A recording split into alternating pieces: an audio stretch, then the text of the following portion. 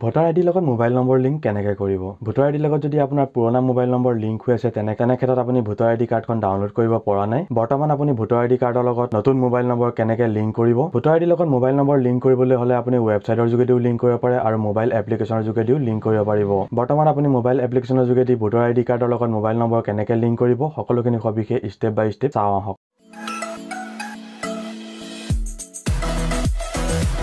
Play ষ্ট'ৰৰ পৰা voter help এপ্লিকেশ্যনটো download কৰি ল'ব। ইয়াত টাইপ কৰিব ভোটাৰ হেল্প ইয়াত দেখিবলৈ হৈছে ভোটাৰ হেল্পলাইন ইয়াত ক্লিক কৰি দিব। তাৰপিছত এইটো এপ্লিকেশ্যন ইনষ্টল কৰি ল'ব লাগিব। মই ইনষ্টল কৰি দিছোঁ। এপ্লিকেশ্যনটো ইনষ্টল হোৱাৰ পিছত এনেকৈ অলপ টাইম স্কেনিং কৰিব। ইয়াৰ পিছত অপেনত ক্লিক কৰি দিব। আপোনাৰ এপ্লিকেশ্যনটো অপেন হৈ গৈছে। ইলেকশ্যন কমিশ্যনাৰ অফ ইণ্ডিয়া ইয়াৰ পিছত আপুনি দেখিবলৈ পাইছে নিউ ভাৰ্চন এভেইলেবল ইয়াত আপুনি অ'কেত ক্লিক কৰি দিব। ইয়াত আপুনি এইখন ডাছবৰ্ড দেখিবলৈ পাইছে। ইয়াৰ পিছত আপুনি আই এগ্ৰীত ক্লিক কৰি দিব। আৰু নেক্সট ক্লিক কৰি দিব। ইয়াৰ পিছত আপুনি ইয়াত আপোনাৰ লেংগুৱেজ চিলেক্ট কৰি ল'ব। আপুনি অসমীয়াও কৰি ল'ব পাৰে ইংলিছো চিলেক্ট কৰি ল'ব পাৰে। মই ইংলিছতে ৰাখিছোঁ। তাৰপিছত গেট ষ্টাৰ্টত ক্লিক কৰি দিব। ইয়াৰ পিছত আপুনি এই এপ্লিকেশ্যনটো লগ ইন কৰি ল'ব। তাৰ কাৰণে এক্সপ্ল'ৰাৰত ক্লিক কৰি দিব। ইয়াত আপুনি লগ ইন অপশ্যন দেখিছে। লগ ইন অপশ্যনত ক্লিক কৰি দিব। ইয়াত আপুনি আপোনাৰ মোবাইল নম্বৰটো বহাই ল'ব। তাৰপিছত চেণ্ড অ' টি পিত ক্লিক কৰি দিব। আপোনাৰ মোবাইল নম্বৰলৈ এটা অ' টি পি আহিব। সেই অ' টি পিটো আপুনি ইয়াত বহাই দিব। ইয়াৰ পিছত আপুনি পাছৱৰ্ডটো বহাই দিব। যিটো নেকি আপুনি ভোটাৰ পৰ্টেলত একাউণ্ট ক্ৰিয়েট কৰি থৈছিলে। ইয়াৰ পিছত লগ ইনত ক্লিক কৰি দিব। আপোনাৰ পৰ্টেলটো লগ ইন হৈ গৈছে মোবাইলৰ এপ্লিকেশ্যনত ইয়াৰ পিছত আপুনি ভোটাৰ ৰেজিষ্ট্ৰেশ্যন দেখিবলৈ পাইছে। ইয়াত ক্লিক কৰি দিব। এইখন ডাছবৰ্ডত দেখিবলৈ পাইছে আপুনি। এইখিনি অপশ্যন ইয়াৰ ভিতৰতে আপুনি কাৰেকশ্যন অফ এণ্ট্ৰি ফ্ৰম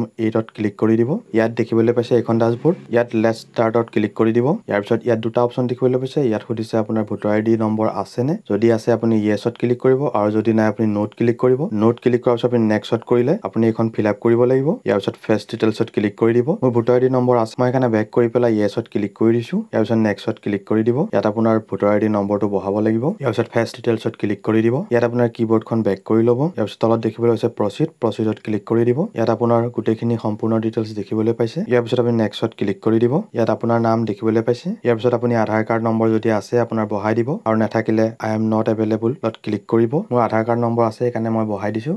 আৰু যদি আপুনি আগতে ভোটাৰ আই ডিৰ লগত আধাৰ কাৰ্ড লিংক কৰা নাই আৰু বেলেগকৈ লিংক কৰিব নালাগে ইয়াতে আপোনাৰ ভোটাৰ আই ডিৰ লগত আধাৰ কাৰ্ড লিংক হৈ আহিব। ইয়াৰ পিছত আপুনি আপোনাৰ মোবাইল নম্বৰটো বহাই দিব। ইয়াত আপুনি আপোনাৰ ইমেইল আই ডিটো বহাই দিব। ইয়াৰ পিছত কীবৰ্ডখন বেক কৰি ল'ব। আৰু নেক্সট ক্লিক কৰি দিব। ইয়াত আপুনি এইখিনি অপশ্যন দেখিবলৈ পাইছে। ইয়াত আপুনি কাৰেকশ্যন অফ এণ্ট্ৰি ক্লিক কৰি দিব। ইয়াৰ পিছত নেক্সট ক্লিক কৰি দিব। ইয়াত আপুনি এইখিনি অপশ্যন দেখিবলৈ পাইছে আপুনি কি শুদ্ধ কৰিব name gender date of birth relation type মই অকল মোবাইল নম্বৰটো শুদ্ধ কৰিম সেইকাৰণে মোবাইল নম্বৰত ক্লিক কৰি দিছোঁ। আপোনাৰ যদি আগতে পুৰণা নম্বৰ আছিলে এড কৰি থোৱা তথাপিও আপোনাৰ ভোটাৰ আই ডি ডাউনলোড হোৱা নাই তেতিয়া আপুনি আপডেট কৰিলে হ'ব। আৰু নহ'লে আপোনাৰ যদি মোবাইল নম্বৰ লিংকেই নাই তে আপুনি মোবাইল নম্বৰ এনেকেই লিংক কৰিব পাৰিব। ইয়াত মই মোবাইল নম্বৰত ক্লিক কৰি দিছোঁ। ইয়াৰ পিছত মই নেক্সট ক্লিক কৰি দিছোঁ। ইয়াত আপোনাৰ যিটো মোবাইল নম্বৰ লিংক কৰিব সেইটোৱে আপুনি ইয়াত বহাই দিব। ইয়াৰ পিছত আপুনি কীবৰ্ডখন বেক কৰি ল'ব। ইয়াৰ পিছত আপুনি নেক্সট ক্লিক কৰি দিব। ইয়াত আপুনি দেখিবলৈ পাইছে আপোনাৰ নামটো আৰু আপুনি ইয়াত প্লেচটো বহাই দিব। ইয়াৰ পিছত কীবৰ্ডখন বেক কৰি ল'ব। ইয়াৰ পিছত আপুনি ডনত ক্লিক কৰি দিব। ডনত ক্লিক কৰাৰ লগে লগে আপোনাৰ প্ৰিভিউ আপুনি দেখিবলৈ পাইছে। ইয়াৰ পিছত অকণমান ওপৰলৈ কৰিব। কৰাৰ পিছত আপুনি কনফাৰ্মত ক্লিক কৰি দিব। ইয়াত দেখিবলৈ পাইছে আপোনাৰ মোবাইল নম্বৰ আপডেট হৈ গৈছে আৰু আপোনাক এটা ৰেফাৰেঞ্চ নম্বৰ দিছে।